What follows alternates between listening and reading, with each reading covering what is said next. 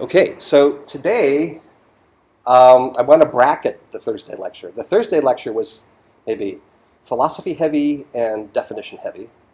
Like I said, it was the most important thing, but the importance really remains to be um, demonstrated. But take my word for it, that was the biggest lecture. Um, but what I want to do is um, first review where we got, and then we're going to go through a bunch of examples. So what I call epsilon machine reconstruction. How do you go from the specification of a process, specification of the word distribution, to discovering what the hidden states and transition structure is? Right? That's what we did with the prediction game, right? But we all did it intuitively. Today, I want to show you there's nothing intuitive about it. It's completely mechanistic. There's a way of going from the process specification, the word distribution, to finding the hidden states. In some sense, finding the intrinsic representation. So, so that's today might even be kind of a short lecture, depends on how straightforward the examples are that I present. So, so by way of review, right, so the endpoint was this thing I called the epsilon machine. So for historical purposes, they're called epsilon machines. It's a particular kind of hidden Markov model that are unifilar. We know what that is. Um, but I have to convince you of that because what we did on Thursday is I said what we're really interested in is pr just prediction. And I went through a long series of uh, uh, constructions and steps in an argument that ended up with this thing here, this predictive or causal equivalence relation. Right? And it was motivated by, well, maybe I over-explained it on Thursday, but a really simple idea. We're trying to predict this process. And we make this assumption or ansatz that the effective states of the process are groups of histories, each one of which leads to the same prediction. Right? So in other words, we don't make distinctions between histories if, having seen them, they lead us to the same prediction. Right? Will we get into more prediction? Yes. Okay, I feel like prediction can be subjective. Uh, right. Maybe I'm wrong there. No, no, that's a fair point. Um, it typically is. So, Right. So, but basically the idea is your, partition will be dependent on Right. prediction. Well, okay, so that, that, that was the way the Thursday lecture started out. I allowed us to make any assumption. All I'm interested in from the golden mean process is predicting the number of ones. So that's a particular task I set myself, and that's obviously a subjective choice. And there are good and bad ways of doing that, and that was our, our sort of candidate scheme R, which as soon as I state that, it, it induces effectively a partition of the space of histories. Groups them in certain ways. Okay. So what I have to still prove to you is that this predictive equivalence relation is sort of the way, with capital T-H-E, the way to do optimal prediction. Today we're going to do examples, so we get some idea of what the power and what the consequences are of assuming this relation. But then I have to come back Thursday, maybe next week, we're going to go through and I have to prove to you that this resulting representation, the epsilon machine, is an optimal predictor. It's of minimal size and lets us basically calculate everything we're interested in information theoretically, or, or even coming up with good prediction algorithms. So it's a pretty outrageous claim, namely that, that this thing, again, given the specification of the process, that's up to you. You've got an experiment or a mathematical model, you have to come up with a word distribution. But once you give me that, the rest of this just follows. I apply this equivalence relation and things happen. So I'll show you mechanically how things happen, how we discover the hidden states. But it all starts from here. but I have to prove these properties that I was arguing for on Thursday. That actually does prediction in an optimal sense. Last Thursday, my notion of prediction was pretty, was very general. All I wanted back were these future morphs, just distributions over the futures. Okay.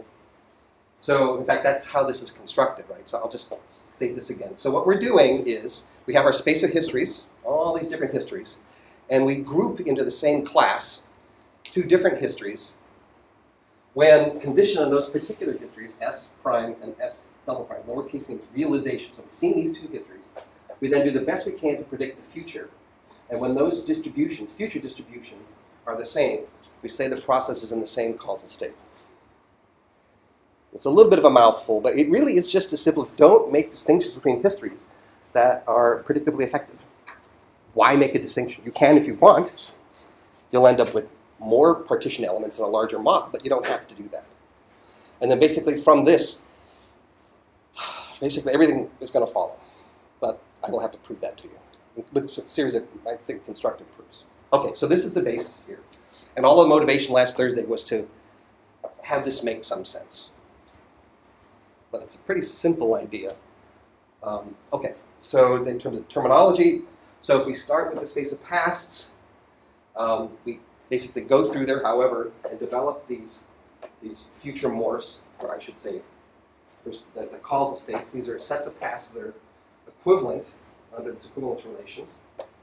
And then they, we also have this series of um, future morphs. Given that I know what causal state I'm in, I have the, the distribution over all the future uh, sequences that could occur, right? And then we think of the, uh, um, the causal states as these groups of histories.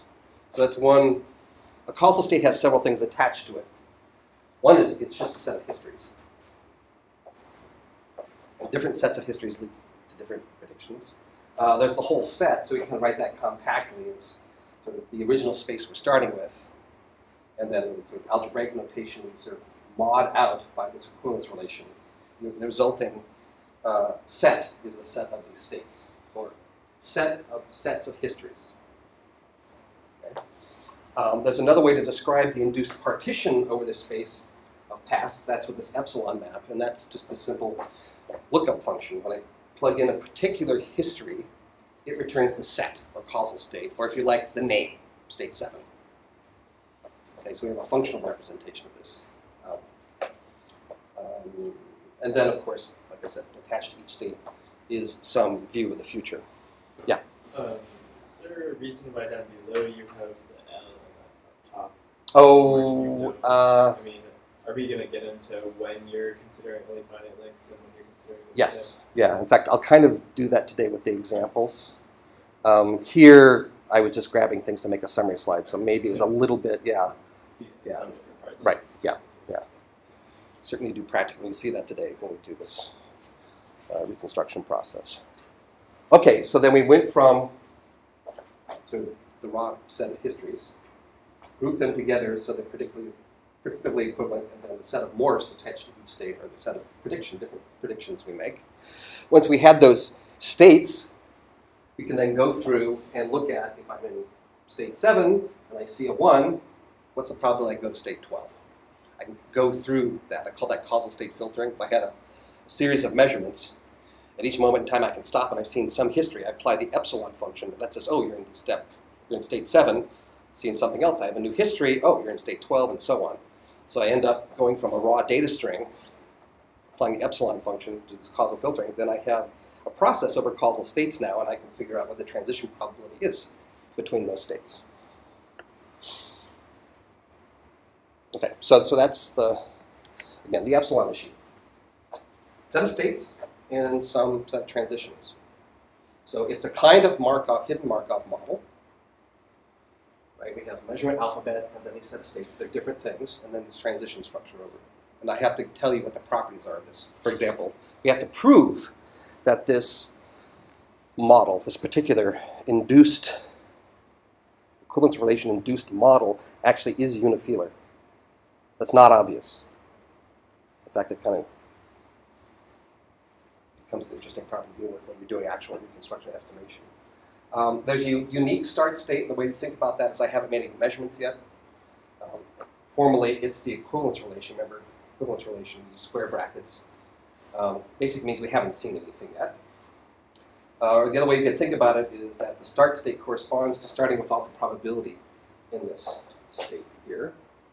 Um, and uh, this example we'll come back to again. It's actually the even process, 1, 1, any number of zeros, 1, 1. Um, we have recurrent states that are induced. You rattle around here for a while, but as soon as you transition out of that set, you never go back. And then there'll be a recurrent component where we asymptotic a long time, we just keep rattling around in here.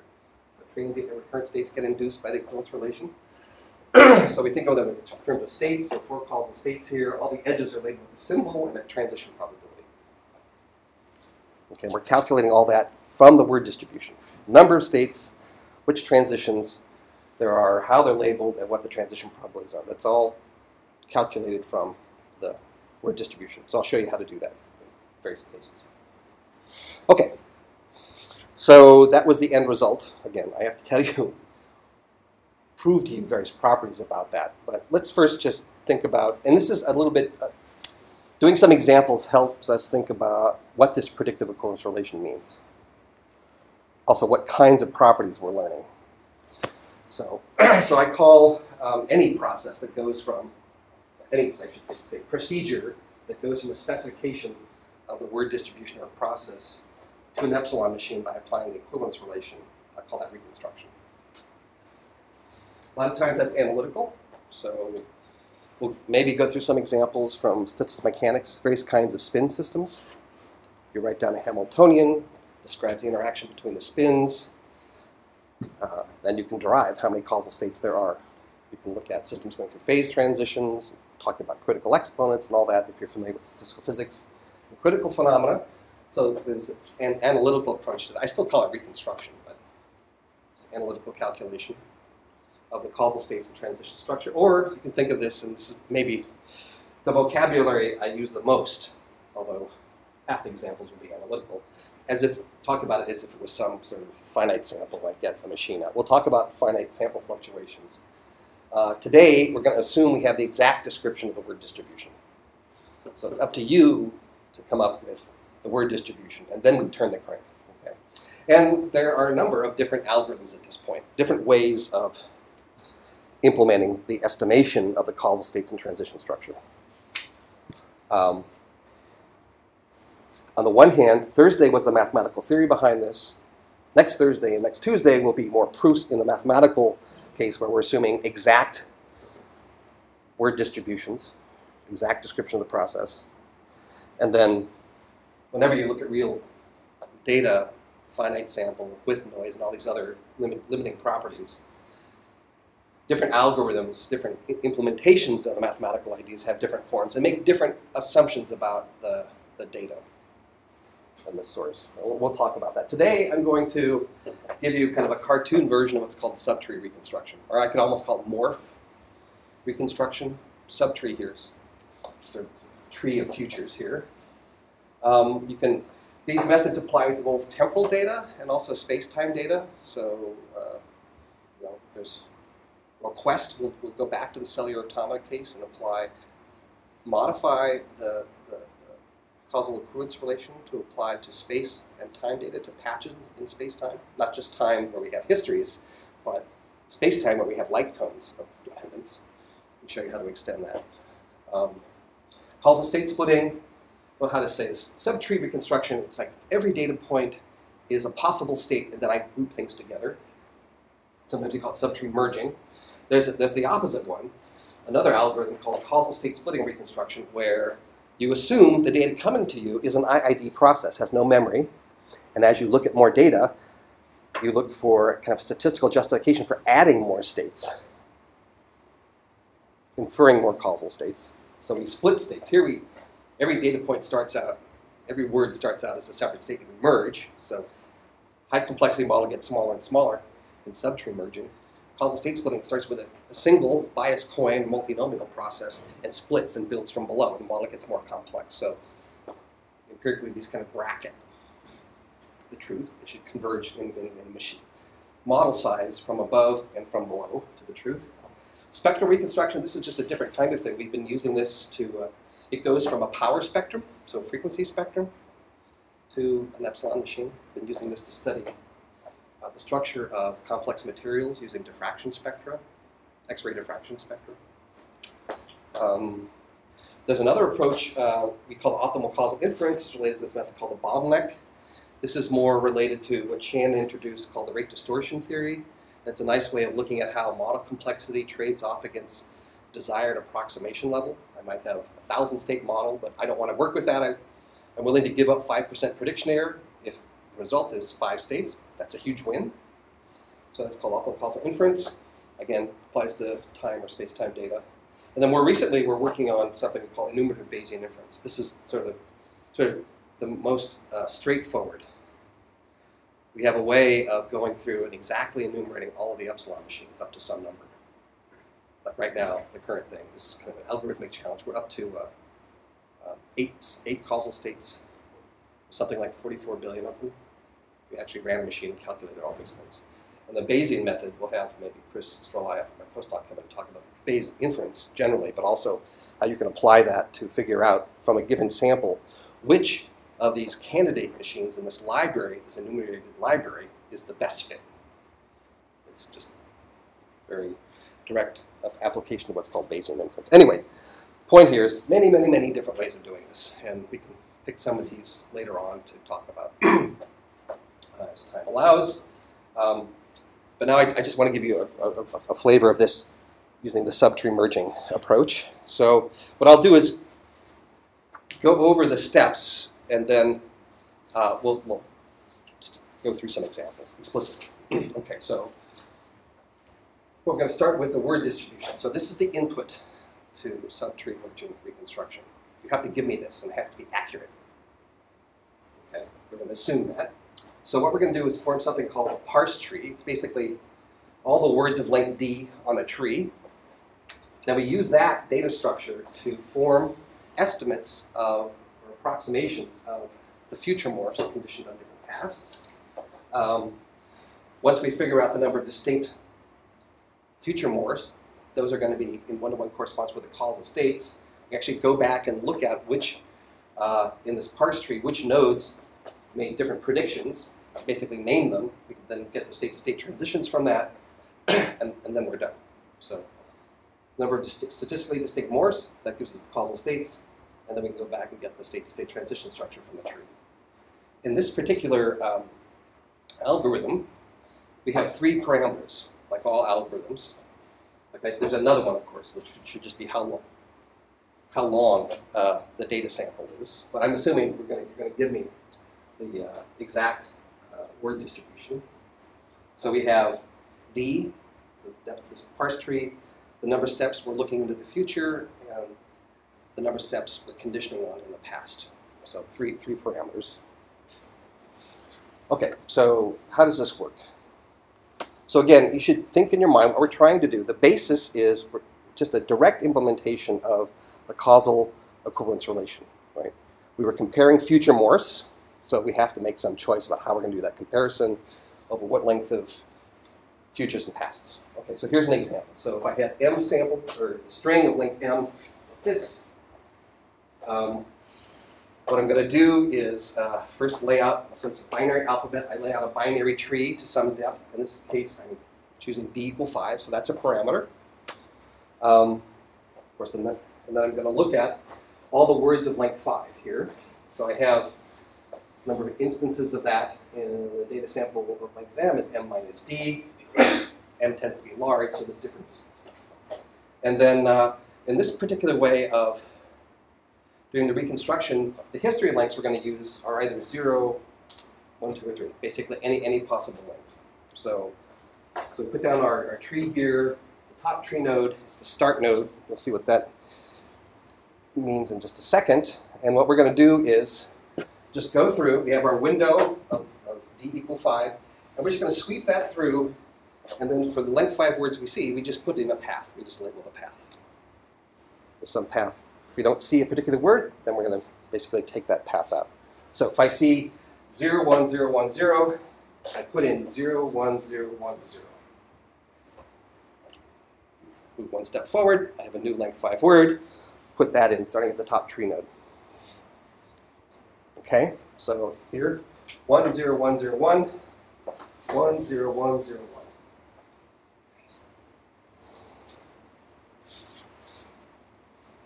0, 1, 0, 1, 1, 0, 1, 0, 1, 1. So that was similar to a previous word, except the last symbol. That last little leaf was added. and then as we're doing this, the number of times we visit each node, even the start node, we just, there's a little counter sitting there. Every time we hit the note, we increment it.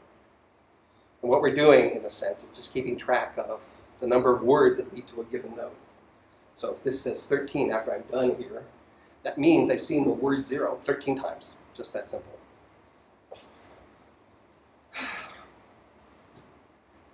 All we're doing here is giving, call it like a, a tree or hierarchical representation of word distribution. This is the, the words of length one, zero ones. the words of length 2 and their counts are down here, right? 0, 0, 0, 1, 1, 0, 1, 1, and so on. Words of length 3, words of length 4. That's all we're doing. So nothing, this is very straightforward. I hope you're thinking, I can code that up. Okay. Um, and then, of course, uh, you know, if we had lots of data, feeling confident, then we can also estimate the probability of the word 0, 0 by just taking the node count and dividing it by the total number of samples we have. That's our empirical frequentist estimate of each word. We can replace the counts with their probabilities. So again, I'm assuming we have the exact word distribution, so I can do that directly. But you can kind of see here, if you actually do this step by step and you had a finite data, then there'll be some issue about how good an estimation of the word is, the probability of the word is. I'm going to assume we have that exactly. So that's just easy to work with. So here, now the first step, we've gone from process description, the word distribution, and now we have this hierarchical picture of the word distribution, where each node, in a sense, is associated with the probability of the word that leads to that node. So the probability of 0, 1 in that example is we have this path, the word 0, 1 leads to here, and I store the probability there. Right, and that's, in other words, each, each one of these nodes is just some marginal distribution of this length d distribution. Okay, so we just build that up. so, uh, okay, so that's uh, the first step. Then the second step is we actually want to figure out what the conditional transition probability is between nodes on the tree. In other words, if I see word W, well, I have that probability. I just look up W, oh, I have that probability. And then I see a new symbol. Now I have a new word. So I see W, and I see a new symbol, and that takes me to a new tree node. But I'm interested in what's the relative probability, if I'm in node n, what's the probability of going to node n prime and seeing S? So I'm taking these absolute word probabilities in this tree structure and recalculating them to be sort of local transitions, local transition probabilities on the tree. Right? So what I'm interested in is the probability of going from n to n prime. Um, that's basically just uh, this ratio of the word probabilities here, right? the words that go to n prime and n. Or the other way to think about it, since w prime is ws, seeing w, then cs, this ratio is just the conditional probability of probably seeing a 0, 1 given the, uh, the word, the history word. So seeing some word, probably seeing 1, seeing 0. Okay, so that's how we calculate that from the previous tree. Just simple. Before we had probability of W, probability of uh, W prime, we're just taking the ratio of those probabilities. And that, that is a node condition transition probability. So if you go through and do that, so now what I've done is, and this is just an example, we go through uh, something like this, uh, just a bit, but just to show you what the next step is. So now what I'm going to do is I've gone through and changed the absolute word probability tree into a tree that is just labeled with these node-to-node transition probabilities. I've just gone through and calculated the, the ratio word here, word here, and so on, all the way down. So every link between two nodes is now a symbol, 0, 1, and a probability of seeing them. And I've just kind of filled in the numbers just to illustrate the next step is to find subtrees. So what I'm going to do is just look at passive length 1 and future morphs of length 2. In other words, I'm going two steps ahead. So I'm trying to find all the future conditional distributions over the next two symbols given I've seen one in the past. Okay.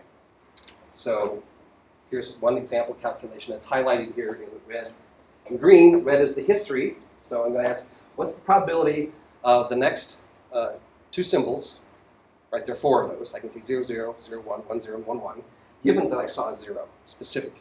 So, and then on the tree, point here is to think about this, what this looks like on the tree. I've seen this one, so I'm in this tree node.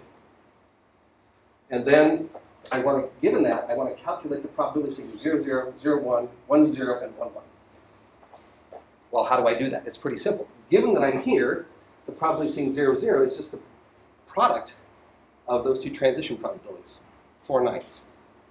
So given that I saw a 0, my prediction I'm going to see 0, 0 is 4 ninths, or 0, 1 would be uh, 2 ninths, and so on.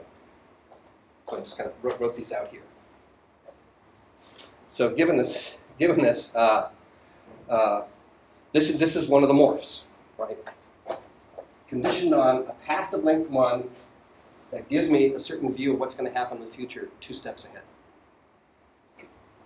So these are the morphs. Okay, so, so the, the intermediate punchline is that we were thinking, oh, I want to do these future distributions. Those are just subtrees. Somewhere on this big parse tree, we're trying to find all the dis- probabilistically distinct subtrees calculated this way. Yeah? So is, is it necessarily true that L plus K is less than B? Um, uh, well, okay, the problem is you'll bottom out down here, right? Right. So yeah, so there are some trade-offs. There are constraints. In fact, I said before, these we have these these three parameters for subtree merging reconstruction. In fact, they're, they're related to each other. Yeah. And, and exactly how you do that in the, the sort of finite case, uh, there's a little more work to do, which maybe we'll have some time to talk about. But here, I just want you to think graphically. I, I, I've done this, this move from what seemed to be this very formal equivalence relation definition to being very concrete. We're just looking at subtrees.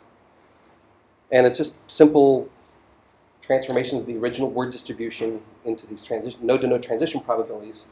And we just go calculate all these. And I made the assumption, just to keep things simple, that we're just going two steps in the future and just looking on, on the past. Jim? Yeah. If our data is not in binary, it's not zeros and ones, then you can use the same process. Yeah. The tree just looks radically thicker. Yes, right, right. So, so the branching here, if it was a five-letter alphabet, I'd have five lines coming out, A, B, C, D, E. Right, which means these trees, if you think of this as a data structure, practical implementation, it gets a little out of control. So, but that's fine. I'm understanding the challenges of my project better. Yes, good. Yes, I can. Ah, yes. As soon as the more alphabet, larger alphabet. Um, again, so so another case. Let's look over here. I'm conditioning on the past of length one, and then I look to see probably zero zero zero one one zero one one. Those are slightly different numbers now. Okay, so we're calculating this morph, and if if you look at this, so here is the future, two steps ahead, and we have these probabilities attached to those four sequences. Notice that these four probabilities, the ones I get if I've seen a 1, are different than these. In other words, the two morphs are different. This morph is different from this morph. They're different predictions in the way I'm using the word prediction. Okay, so so let's just kind of assume that we've done this and we realize that, oh, even if I condition on you know, length two words, all I see are these two different morphs. Two steps ahead, I have, have these two different distributions, and then I would say that we have these two different morphs. So now I'm just thinking of just the, the just the probability distribution over futures as some kind of signature for the predictions. And what I'm kind of assuming to get through this uh, quick tour is that that's all in the tree. Even if I had the original tree was depth 100, let's just assume that that's it. I went through, and these are the only depth 2 subtrees that I saw. The only two morphs that I saw. Condition on histories of length. 0, 1, 2, 3, 4, that's it. So that's it. First conclusion. This process that made the word distribution from which I made the, the tree, the parse tree, has two causal states. So I'm going from what their distributions are now, I'm just talking about their names at this point. Okay. Then what I can do is go back into the tree and I go to each tree node and I look two steps ahead and say, oh, is that morph A or B? And I put that name for the causal state up here.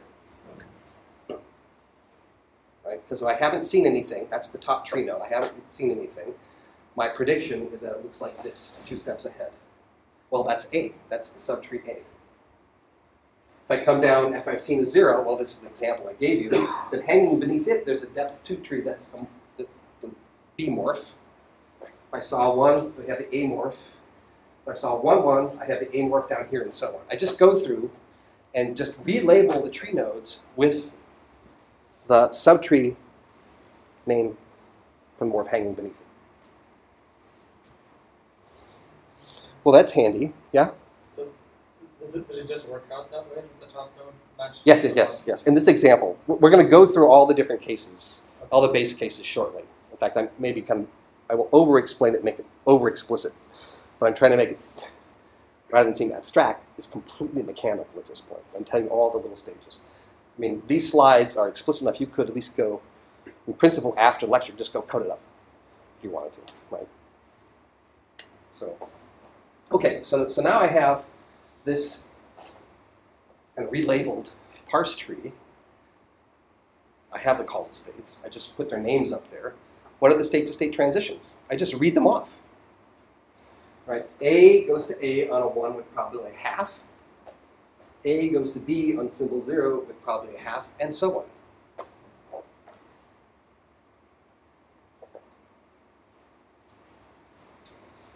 Okay, so that's the net result as we end up with these two states, and then transition structure. Okay, so A goes to A on symbol 1 with a half. I just fill in the transitions. A goes to B on symbol 0 with half. B goes to itself on symbol 0 with 2 thirds. And then B goes back to A on probably 1 third and generates a 1. Okay. So, so that's just real quick. I made a bunch of assumptions. Didn't really start with a given data string, but I wanted to lay out the steps so when we go through the particular examples, they're kind of clear. So again, it's just given the correct word distribution, you build the parse tree, calculate these node-to-node relative transition probabilities, calculate these morphs. They're easy to see now. They're just the distinct subtrees. Those are synonymous with the, the number of causal states. Go relabel the tree, and I can get the state-to-state transition structure. Result, epsilon machine. Okay, I'm making a number of assumptions so that works. The most important of which is actually that the word distribution is, is correct. Okay, so the rest of the lecture, I just want to work through these. Part of that is to get back to the prediction game we played intuitively and show you that there's no intuition involved in this. Um, in fact, remember the period two case? That was a little bit bizarre. It was a little bit surprising. So why? Well, we'll explain that. And then, you know, some of our sort of favorite process generators. Well, imagine that we have the word distribution for the golden mean and show that, in fact, the generator we're familiar with, that we assumed, actually is entailed from that same thing for the even process. Although what I'm going to do here is just what I do what I call topological reconstruction, not do the probabilities. And the homework assigned today, do next week, as you go through the probabilistic calculation of the morphs. And some interesting things that happen when that. Okay, so back to period one, right? This is the boring example, right? Yeah. Sure.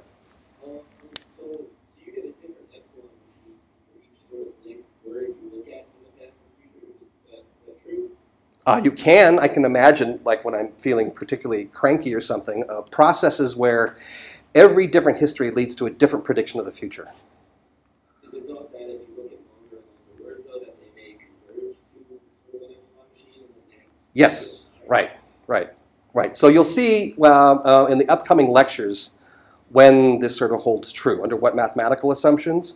So for example, we're going to assume stationarity, um, uh, sort of a finite memory property, then we'll end up with a finite number of causal states.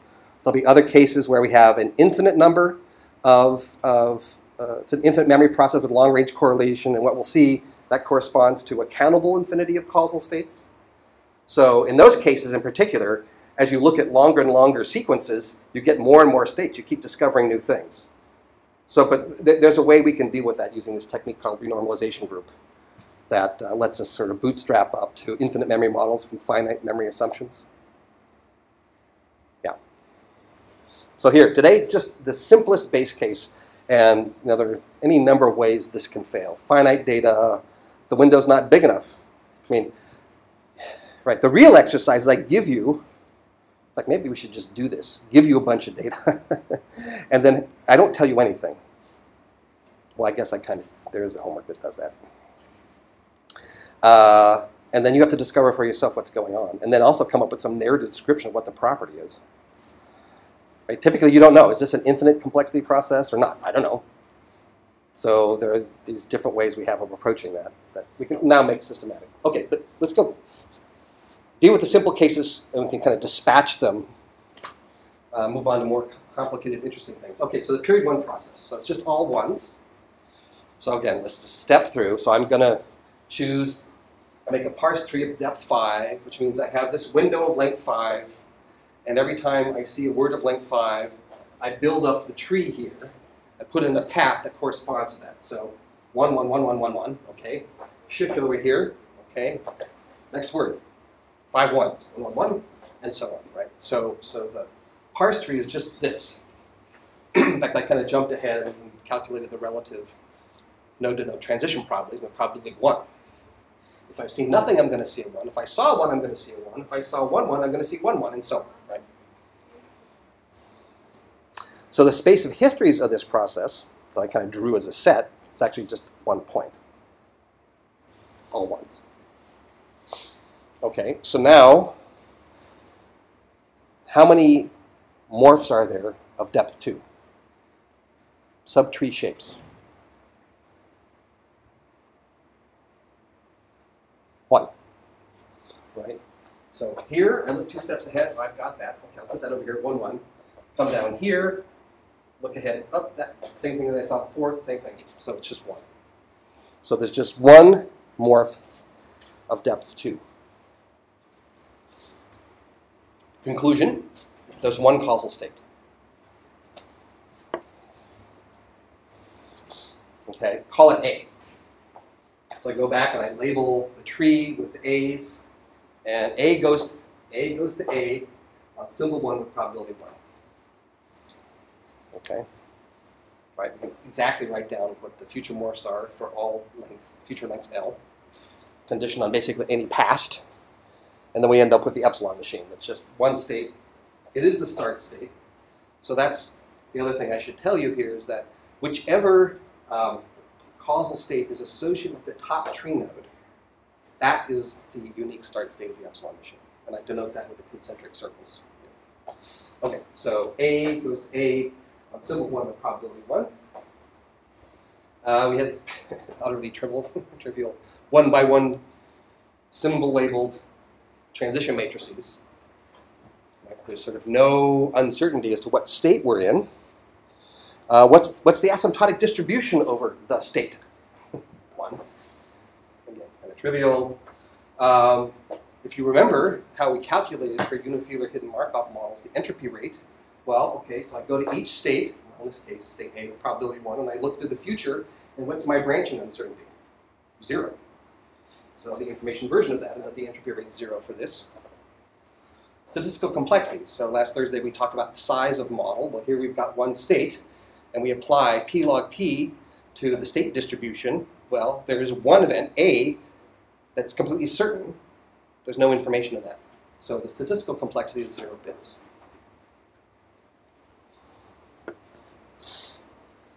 Okay. So this is you know, genuinely flogging a dead horse at this point, right? It's all ones. Even the first time we did the prediction game was obvious, but still, it's an important base case. And here's the other important base case. Remember the fair coin? So here, well, that was the previous sample, but you know, imagine I give a long enough sample, or I just tell you it's a fair coin. It's the uniform distribution over words any length.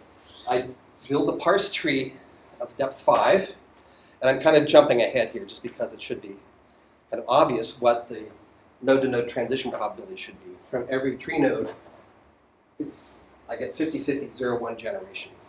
Okay, so I do that, and then the question is, how many probabilistic distinct morphs of depth 2 are there?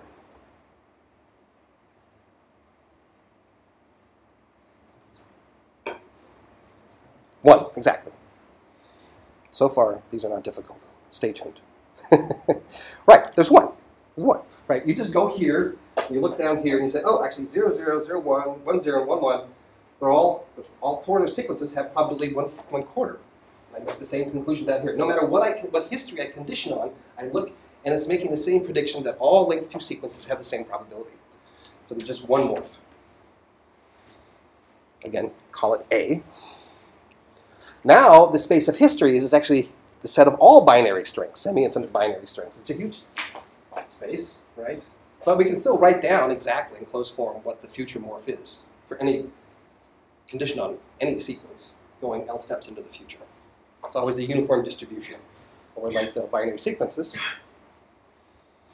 Okay, next step. So we've concluded there's just one morph. I go back to the tree and I label all the tree nodes that have that full binary tree of depth 2 hanging beneath it. Here, here, here, everywhere, right? Okay. So then I can read off the transition points. A goes to A on a 0, probably half. A goes to A, probably half on a 1. A goes to A on a 1, probably half, and so on. And so just like we concluded before, you have a single state A, and the transition structures 0 would probably half, 1 would probably half. Now, when we talked about the prediction game on last Thursday, there was a little bit of debate. Maybe it should have been a two-state. Well, there's a two-state version of this. I could just call it A and A prime and label the previous tree in some way. But this is the minimal one. Again, what I meant by minimal was rather simple. I can't remove this, this, or anything, and have it still properly describe the process. And it still captures the fair coin. so um, we didn't have to assume minimality here. I mean, it- some of you have some familiar with machine learning, and there's, a, in fact, a lot of the, the entire discipline is interested in sort of not overfitting and sort of complexity costs and minimizing, choosing the smallest model, basically different algorithmic implementations of Occam's razor. Right? Don't multiply explanation beyond necessity. We didn't assume it. That fell out. That's entailed by the Wouldn't we most likely get something more complicated if statistics, right? Yes, absolutely. Right. And we'll talk about finite sample fluctuations, even for a fair coin. Even for a fair coin. Especially. Yeah, it's almost maybe the most interesting case in a way. It's kind of the base case, yes. So we'll come back to that, yeah. Right. So, next lecture, or after that, I will prove that the, the equivalence relation leads to minimal models. It's not obvious if I give you that, that it's minimal. Once I prove it to you, hopefully it will be obvious, but not right now. So I'm just pointing it out. In this case, I could have had you know, four states with equal branching 0, 1 from each state, and that would still generate a fair coin. But this picked out, because we're doing these equivalence classes, just one state. It gave us the minimum model. So we get minimality for free, in a sense. It's not an additional assumption. Our, the only assumption we're making is trying to do prediction. What's interesting is trying to do prediction leads us to minimal models, minimal structures. Okay, so states, well, the set of sequences associated with uh, the, the causal states are just all binary sequences, trivial, symbol labeled transition matrices, one by one matrices, each with probably half. Um, causal state distribution, we have only one state, so we're always there. But now notice, if we go to each state and look at the branching uncertainty to calculate the Shannon entropy rate, source entropy rate, we have maximal uncertainty. However, we know the process is always in one state. That is not, don't tell me that. I know that. There's no surprise. Therefore, the statistical complexity is zero. Or let's say this log of one state is zero. So we, we're going to come back and talk about, well, we talked a lot about degrees of randomness with the entropy rate, but we have to think a little more about what the statistical complexity means. Last Thursday I said, well, think of it like model size, roughly. It's kind of the uniformity of the distribution over states. If you have one state, then it's just zero. It's actually related to the amount of memory in the process. But that's something else I have to prove to you. so, uh, okay, now let's just tweak things a little bit. We didn't do this on Thursday in the prediction game, but we did do this, remember, way back when, when we first started talking about word distributions and sequences. We did the bias coin. Right, and that was peculiar because A, well, it's a simple generator, and you could just imagine doing probably two thirds for ones and one third for zeros. And it ended up with that really complicated word distribution, that fractal probability amplitude word distribution. I'm just showing you all of the, the mosaic of the word distributions in a tree form here. Nothing different, just a different graphical representation. Okay, so our bias is two-thirds. We go down, and again, I'm kind of jumping ahead uh, in how to fill out the tree.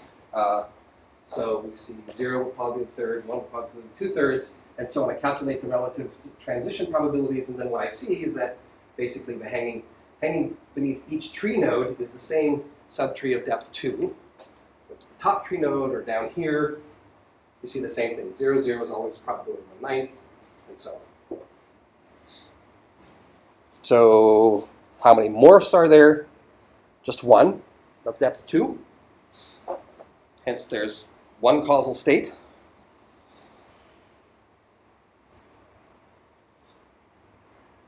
Same big space of histories. All sequences occur. What's changed from the fair coin is just this complicated uh, set of probability amplitudes attached to each sequence. We can write out exactly what the, the morph is conditioned on any history. We have this binomial distribution of futures. So that's, that's closed form. So single state, we go back to the tree, we label each tree node with the subtree hanging beneath it. Well, that's all A's, since we've agreed on already.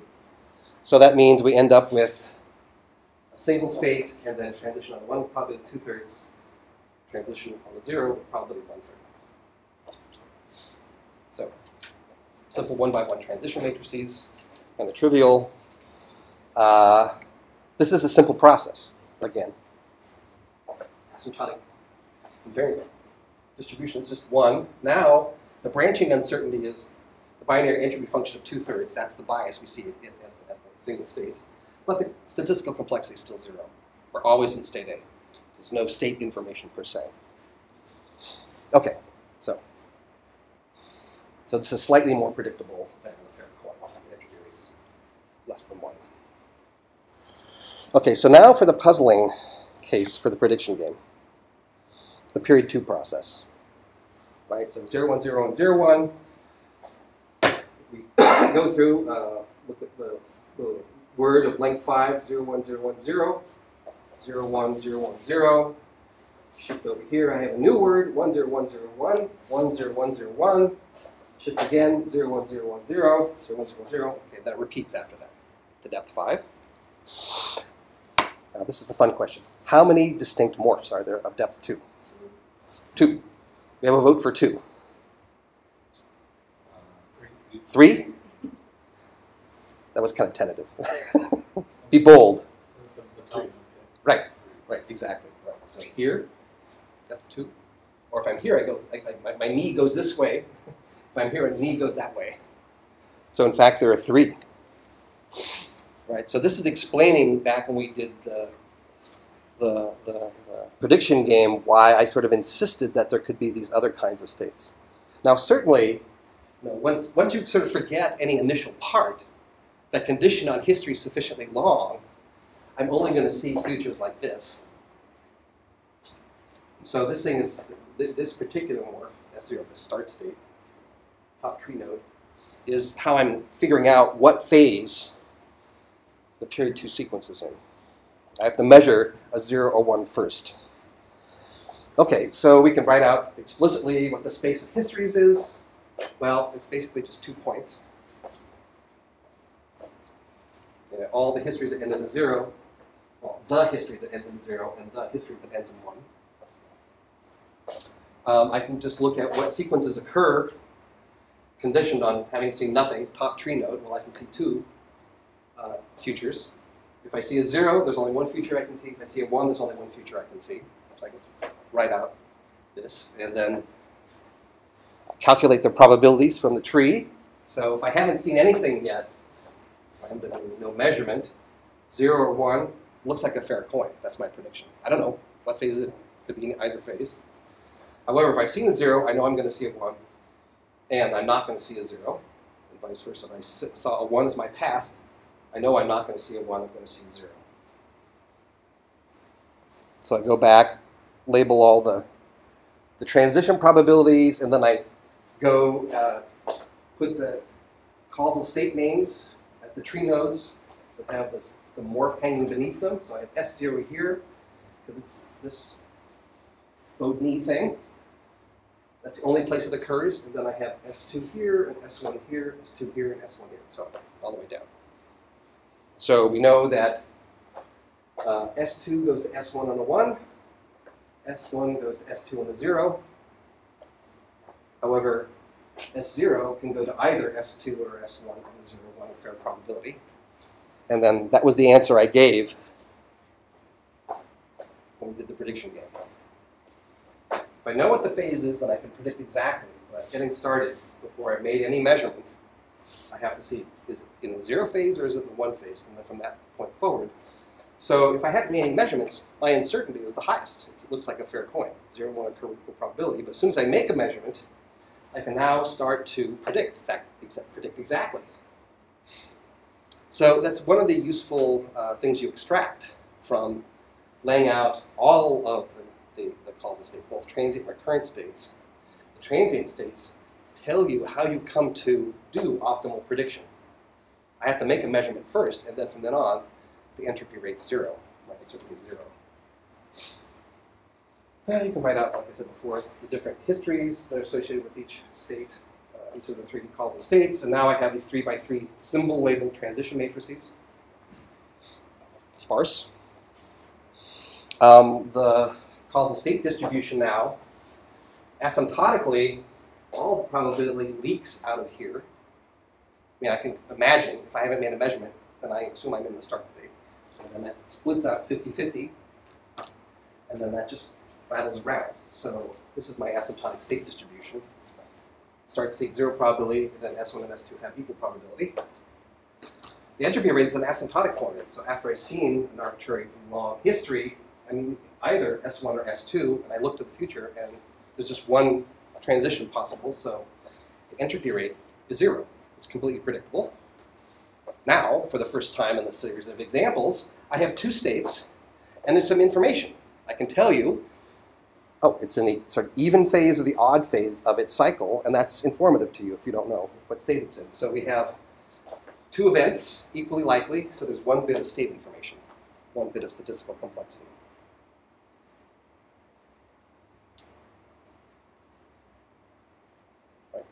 What does that information mean? It's the amount of information in the phase. Yeah.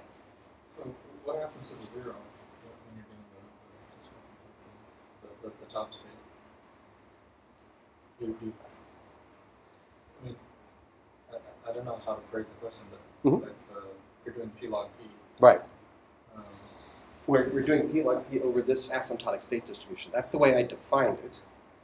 Now you could say, now wait a second, I actually happen to be very interested for one of my applications and how I come to know what the asymptotic state distribution, or the, oth- the other question, how, if, if I start with all the probability up here, how does that actually relax onto the asymptotic state distribution? So that, that's a question about finite, the, the, the conditioning on finite length histories, like, zero and how that relaxes.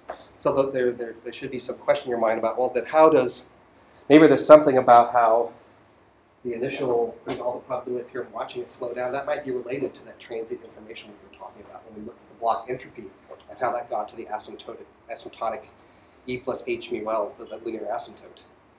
So, so, so the transient states become important for questions like that.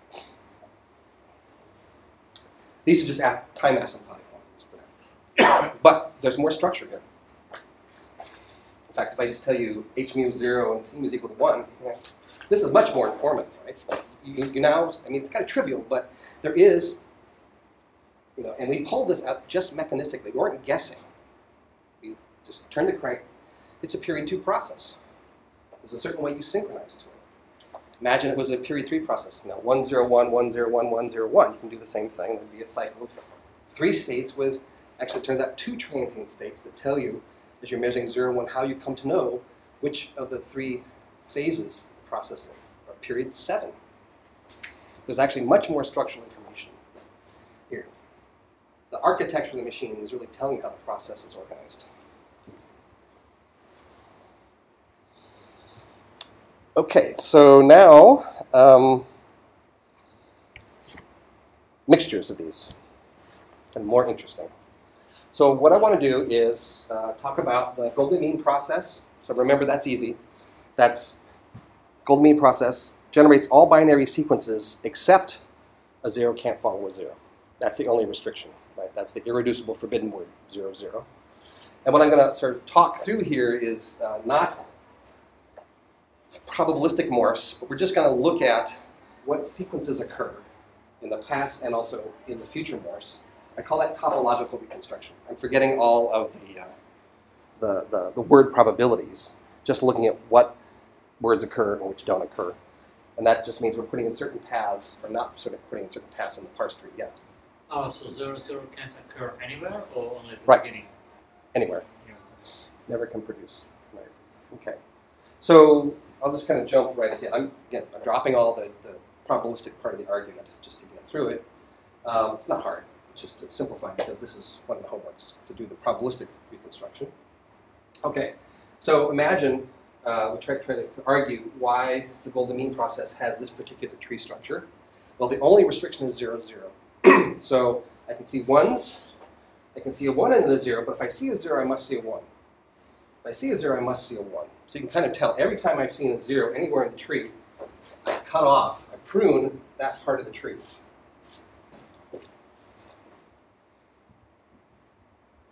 the same thing I pointed out when we were looking at mosaic of word distributions, how 0, 0 occurs at length 2, and then it actually has a cascading effect all the longer length word distributions where there's subsets taken out and then sort of arguing in the limit infant sequence, that's actually a Cantor set of sequences that, that are removed. So that's one way of looking at this on this tree.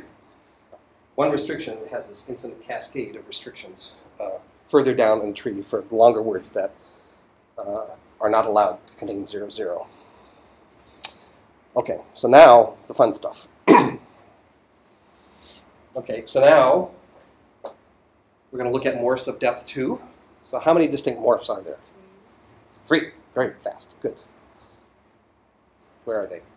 The first one. Right. We always start at the top. Right. So the top is a branch, maybe like a coin flip, and then a restriction here.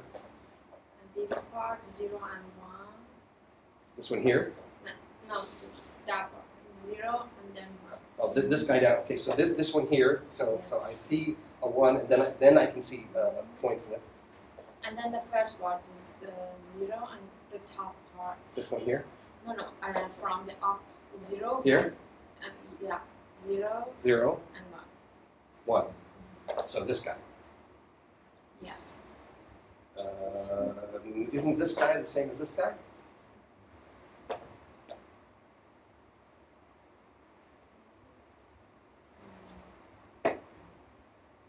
Notice that takes me a while. right, okay. There's at least this guy. Okay, right. Uh, and then if I look here, uh, uh, I have you know, this one, so that's the second one I haven't seen. If I look over here, well, that's branch and then a restriction. So, so this is the same as this guy up, up, up here. Um,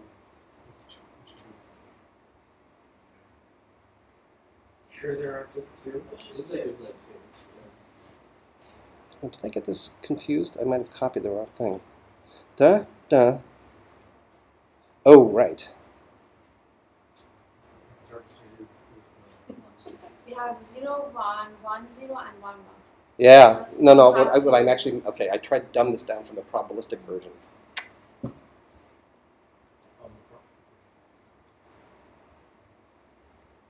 Oh, the start Right. state has different probabilities. It does actually, right? So I kind of jumped ahead here. So this is some bizarre mixture of probabilistic reconstruction. So this is half the answer to the, the homework exercise.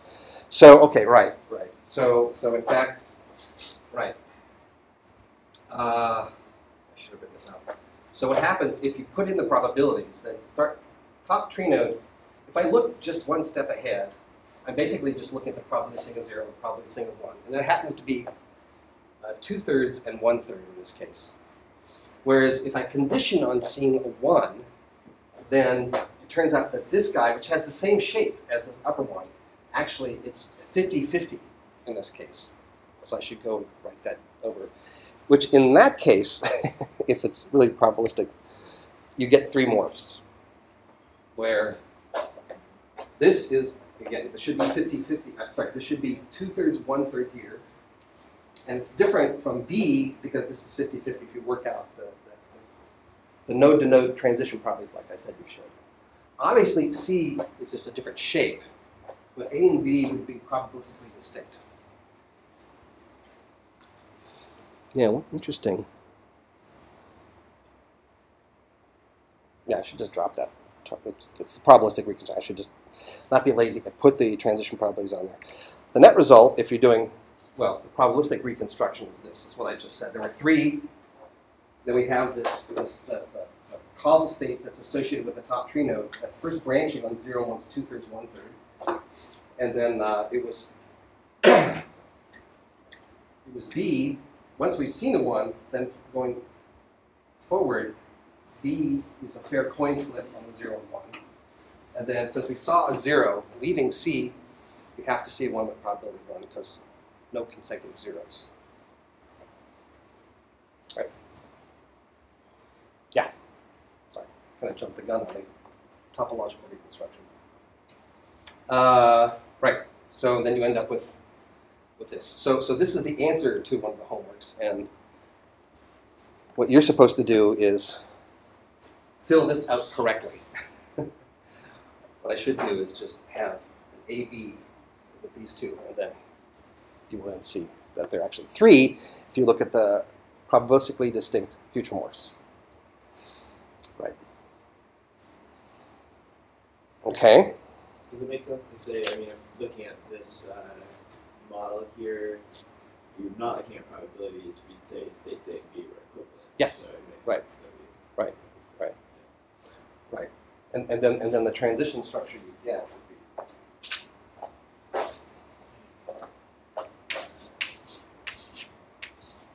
No, like that. And this would be the start state. And then it would just be yeah, zero, so then once you you could see the put one and the one's there. Right. Yeah.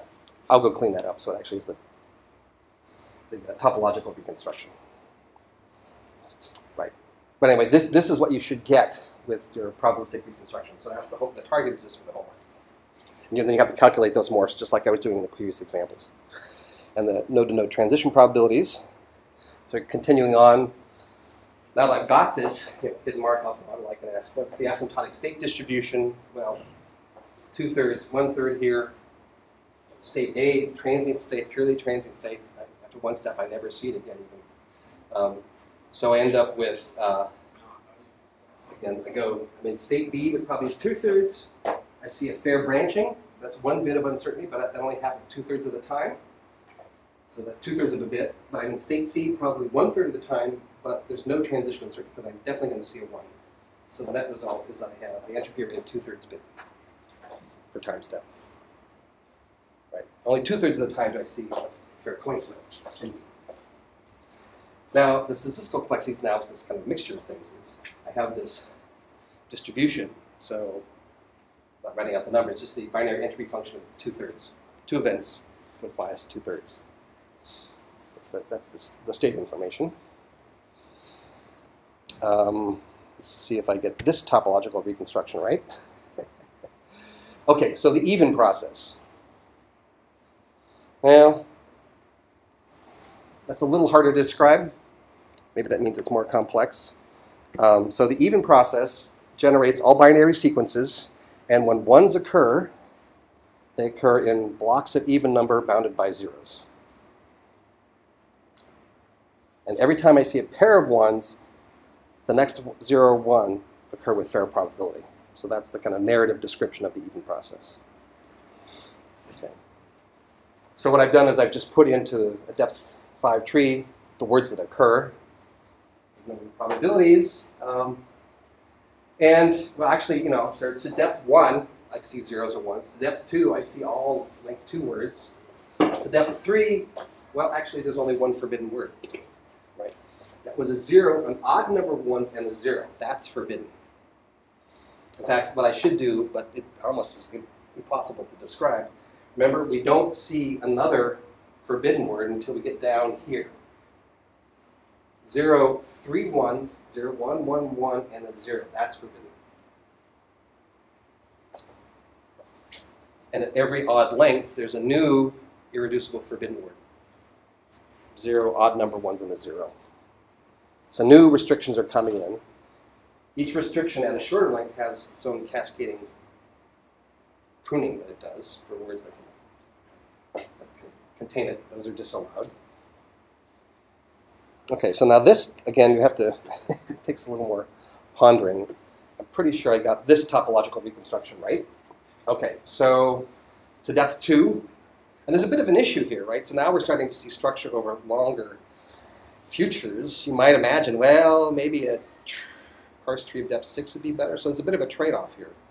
I'm kind of trying to guess these so I can put it on uh, a graphic that we can actually see. Okay, so here's the parse tree again. So how many uh, depth two subtrees are there? Four. Four. We have four. Um, well, okay, let's go through. So the, the way I write the algorithm, I go to each thing, I look at the signature, store that off, see if I haven't seen it. If not, I put it in my list. Go to this one, do the same thing. Just kind of go down. In this case, you're just looking for which words of length four occur. So here, top tree node, two steps ahead, we see all four binary sequences. Um, here, there's actually a restriction. I don't see one zero, so I put that aside. So that's three. Uh, come down here. Well, that's full binary tree of depth two. I saw that above. Ignoring probabilities. Um, Why sometimes we ignore this part, but the one some uh, sometimes we just take account for this. I mean, we have we have a start point as a different point Right. sometimes, but sometimes That was my mistake on the previous example. What I was showing you were the probabilistically distinct things. I was trying to set it up so I was giving you minimal information, minimal helpful information for the exercise. I gave you too much. So I did half. Yeah, I'll, I'll fix that in the slides. So. Right. The previous distinction was a probabilistic distinction. So they are the same. A and B would have been the same Yeah. if I was just looking at the topological, what sequences occurred in the future. Um, so here, I don't know, I, I kind of do a pattern matching. I mean, it gets a little tedious. Notice if I'm here, I must see one, and then I have a branch. That's a new one there. Eh, I don't know. You can kind of go. I mean, it's sort of exhaustive. kind of go through here, keep checking, keep checking, keep checking. Then there's a decision criteria. Well, in this case, I know I can stop because I define what process we're looking at. So the net result for topological reconstruction is that there are three.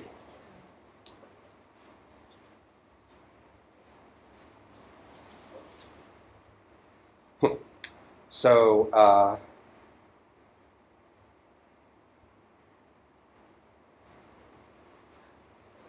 there are various, yeah. If you know what this, the, the process is, there are ways of calculating how far you have to go ahead into the future and into the past to see all of the topologically distinct or probabilistic distinct causal states. Um, here I'm just choosing the parameters so it works out.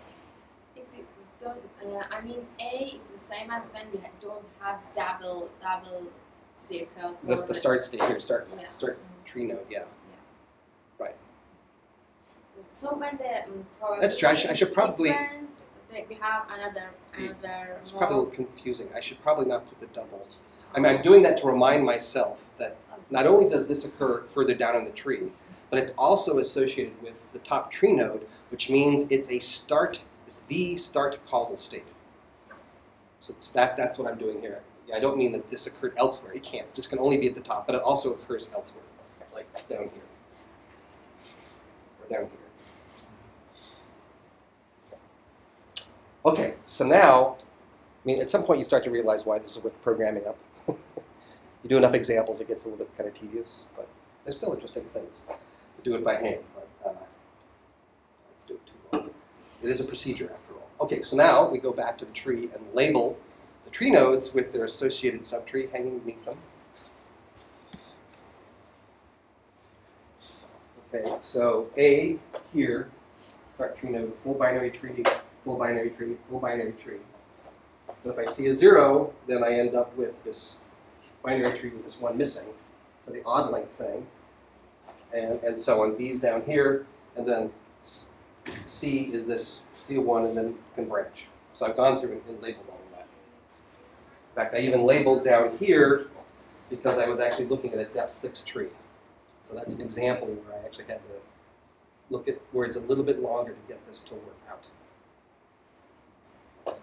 I I, from just looking one step below this tree I don't know that it's A. So I actually kind of worked it out, but I didn't display it because it's very busy. They shrink down. Okay. So, uh, so, so what, what does this tell us? Topologically, A goes to A on a 1, A goes to A on a 1, A goes to A on a 1. A goes to B on a 0, B goes to B on a 0, B goes to C on a 1, C goes to B on a 1, and so on. Uh, notice that most of the tree nodes are just B's and C's. The only place I see A tree nodes is on this far left when I'm seeing ones. And as soon as I step out of that, I fall back into B and C causal states. So this is kind of hinting that A is going to be a transient state that can map to itself. So we have the three causal states. Uh, can go through like I just did and make a list of what states are allowed on a zero, what state transitions are allowed on a one. Um, this is also kind of mixing things. So you end up with this three-state picture, which I should kind of jumping ahead. Ignore the transition probabilities for now. So basically, you end up with these three states. So here's A, the start state, goes to itself on a 1. As soon as I see a 0, I drop down to B. That was the only way of transiting out on the tree of that long series of 1s into the main part of the tree. And then from then on, oh, what is this? Yeah, oh, sorry. B goes to C on a 1, then I must see 1. And then B goes to itself on a 0. So now I'm putting in transition probabilities here as if it were a stochastic process. That, that's not really justified topologically. Sometimes what we do is if we just have a machine here without transition probabilities, we talk about the topological machine and we just as a default assumption assume that we have fair coin branching. If you want to calculate a property like the statistical complexity, you have, you have to put a transition probability on there. Kind of a null assumption. Um, another way to do it would be to take even if this is the topological picture, this describes what sequences are generated after probabilities. I can take a sequence generated by the, the actual uh, even process and run it through here and calculate empirically what these probabilities should be. That'd be some kind of approximation. Um, it turns out, and this is sort of the punchline, that maybe makes this distinction between topological uh, reconstruction and, and epsilon machines and probabilistic uh, machines clear.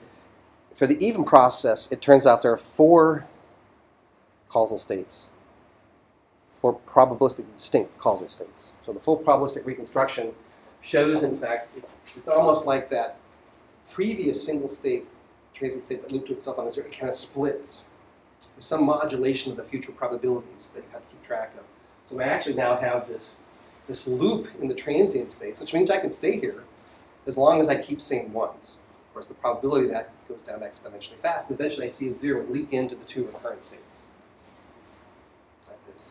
So, so that should look familiar. That This is the actual know, way we've been thinking about the even process as a generator with those transition probabilities. So you can go calculate these things out like that. Uh, So 4 by 4 transition matrices. Uh, the, the entropy rate, well, that's easy. It's really just two thirds of the time I'm in C. I put down the asymptotic transition uh, state probably no. Probably C. C is seen with probably two thirds, D probably one third. When I'm here, I have a fair coin flip, so that's two thirds of the time I see one bit of uncertainty, but if I'm in D, I'm going to see one, so that doesn't add. So I just have, just like the golden mean process, the entropy rate's two thirds per, per, per time step, and also the same statistical complexity. Have these two events, C and D, probably two thirds, probably one third. That's the state information. Okay, so the homework is to elaborate on the topological reconstruction here and write out the, the probabilistically distinct morphs. And as a guide, you should be getting this as the end result. It's not, not too bad. So um, you might find it handy. Um, um, sometimes uh, when I'm doing these calculations by hand, Uh, it's nice to have that binary tree there, the parse tree. So I have some PDFs of parse tree paper and morph paper over here. You can download and print out and try it by hand first. Just kind of saves drawing this branching tree, which if you do it by hand is just, it gets lopsided, so reference for that. Okay, so that's it. So these examples, just again, it's a procedure. We just go through this and we get to discover the number of states and the transition structure in, in a process.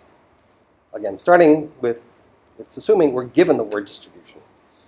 So in any practical application, this breaks into two steps. Some statistical technique going from finite data that gives you a good word distribution, and once you have that, then you turn this crank to figure out how many states in the transition structure.